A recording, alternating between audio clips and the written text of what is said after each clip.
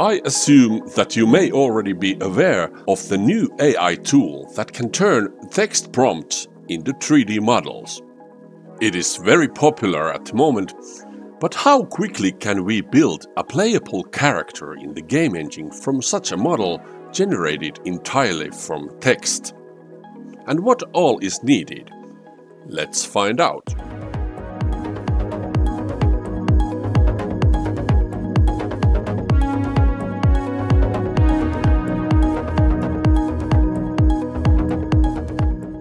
Hello boys and girls, my name is Olli Huttunen. This time I thought I'd introduce you to the process of using a new artificial intelligence tool called Genie, developed by Luma AI. Let's create a 3D character with it and transfer it to Unreal Game Engine as a playable character. Luma AI has built this tool to work in the Discord service, so of course you will need a Discord account for this one. When you manage to get in, you should check these simple instructions from this channel so you know what kind of a prompts you can request from this AI. After that, you will find several Genie channels here, where you can start generating your own 3D models.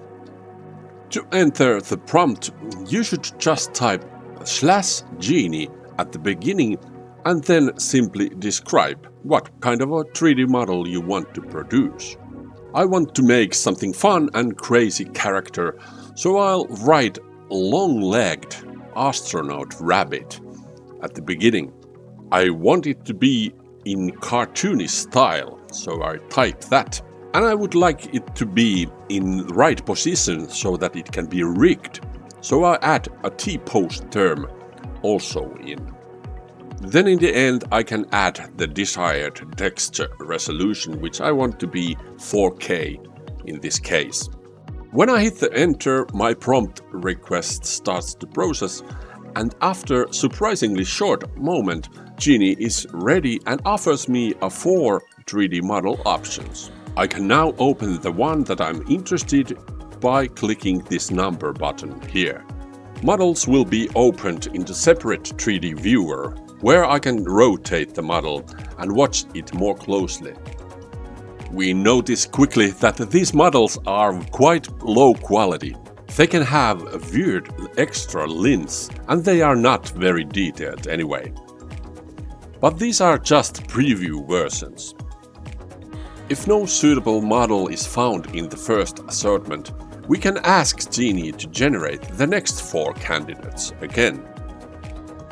Or we can change our prompt to match something that will eventually produce a 3D model that we will like. For example, in this third set I found this Astro Bunny that looks like a potential game character. So I want to continue with this one. I can come back to Discord and ask Genie to refine the fourth option, which is the model where I want to have more detailed textures. The refining function is a bit more difficult to calculate, so my request is transferred to this channel in the queue.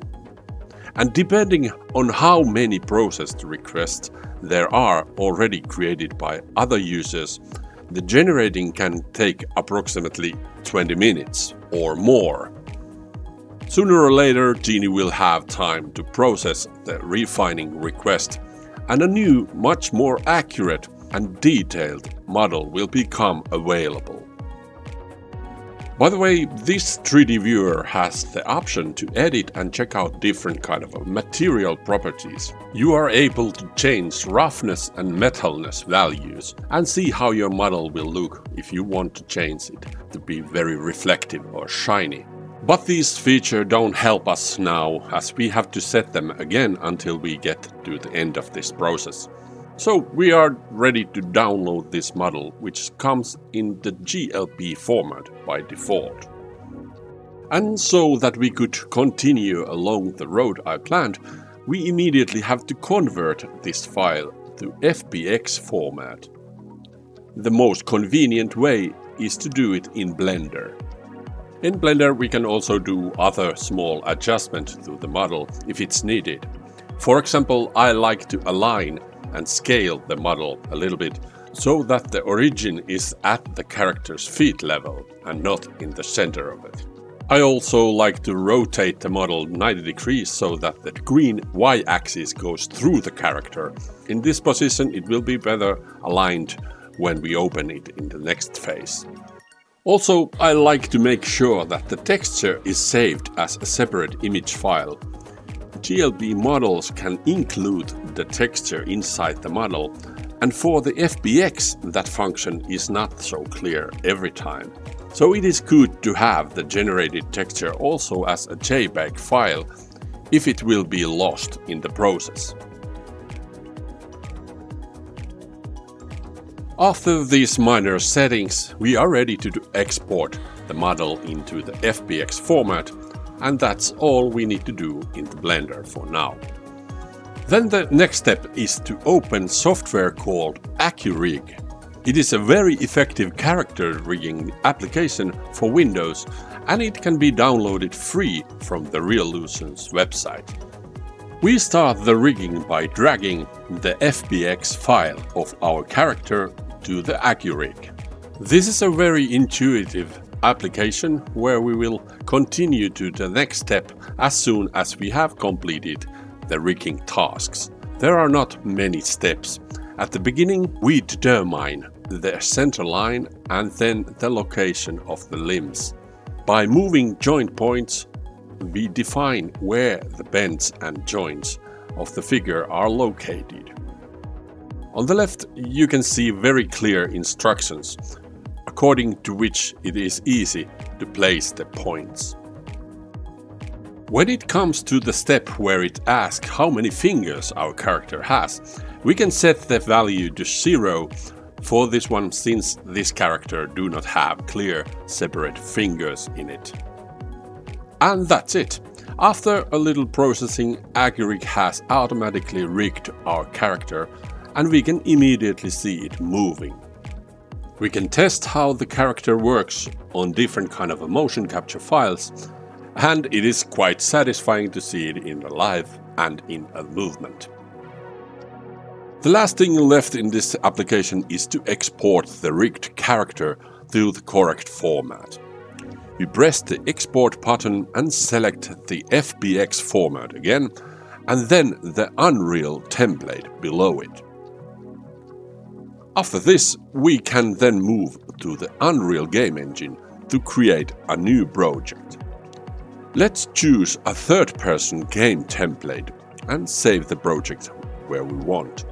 And as soon as we get this project open, we can create a new folder for our character under the content directory. Here we can now drag the FBX file that we rigged in the AccuRig application. The important thing in these import settings is to set the right skeleton that our character obeys in the game environment. And here we choose this older skeleton mannequin model that inherits from the earlier UE4 version. This works best for the characters rigged in AccuRig. And from the advanced settings here, it is good to activate these two options. Now we are ready to import the character model in Unreal. In order to make our built rabbit character playable, we need to connect its current skeleton structure to an existing UE5 mannequin. We need to go inside the character folder, there to mannequins and animation. And then right click over this default Manny character. And up here where is the retarget animation assets, we found duplicate and retarget animation assets slash blueprints. This opens the window where we can easily retarget the current skeleton system to match skeleton which we brought our rabbit character in. We just need to choose the correct IK retargeter from this menu, which is in this case this one which targets the UE5 to older UE4 Manny. And then we just choose our rabbit character from this menu to be the target. From the folder field we can choose the same folder where our rabbit lives, so that this tool can place all the retarget movements in the correct place. And now our astronaut rabbit is ready for the game.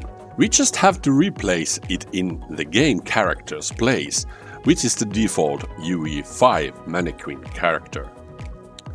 And it happens in here. We go inside the third person folder and select blueprints in there. Then we double click this blueprint window open. In here we activate the viewport tab and select this default character. Now, on the right side we found this place where we can change the default character. And there we roll the list so that we can find our rabbit. We are almost done. The last setting is to change the animation class to match the APB Manny which we retargeted our character for. Now we are ready to save the blueprint settings and test how our astronaut rabbit will work as a playable character. We simply just hit this green play button and is the correct word boom or a voila in here. I don't know, but anyway, this funny character which we created from the text prompt in AI is now running and jumping and interacting as a playable character inside the Unreal Engine. What is your opinion about this process? It's funny to think how many automated functions we used to achieve this. There weren't very many steps to accomplish this, so I can well imagine that this whole process can be automated with AI in the future. There is also alternative method to make the rigging part of this tutorial. You can use a similar rigging solution that can be found in the Mixamo service. It works with the same principle and directly in the web browser, so you can rig your character regardless of what operating system you use. I hope this was an inspiring video if you liked it, hit the like button and subscribe to my channel, and I'll continue making interesting 3D content. So, until the next time, thanks for watching.